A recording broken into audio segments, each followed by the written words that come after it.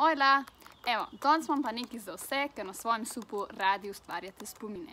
Tako da, tukaj imam en kup enih nastavkov za tiste, ki na svojem supu že imate nastavke za kamere, tako kot tudi za tiste, ki jih še nimate.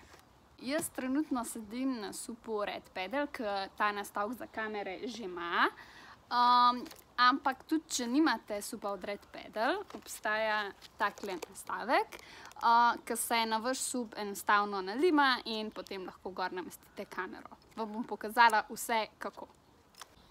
Ok, najprej rabimo tak nastavek, ki paše v to predvideno mesto na Red Pedal supih. Takole izgleda. Zraven dobimo še tole, tako da lahko pritrdimo. Če nimamo Red Pedal supa, lahko pač kupimo tale nastavek in ga zalimamo na sup in imamo v bistvu isto. Ke imamo enega od teh dveh nastavkov, lahko izbiramo med različnimi nosilci za kamere.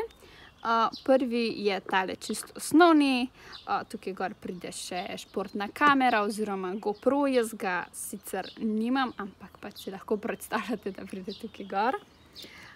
No, drugi je že bolj tak napreden, ker lahko zbirate tudi različne kote oziroma kamero nastavljate.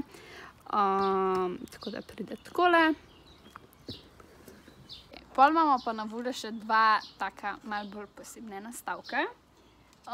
In sicer prvi je za vse ribiče, in sicer tale nastavek za ribiško palico, s katerim lahko ribe lovite kar iz svojega supa.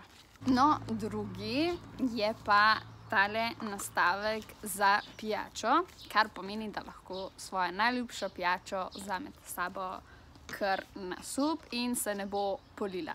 Tako da, evo, jaz imam Fanto, katero boste pa vi vzeli?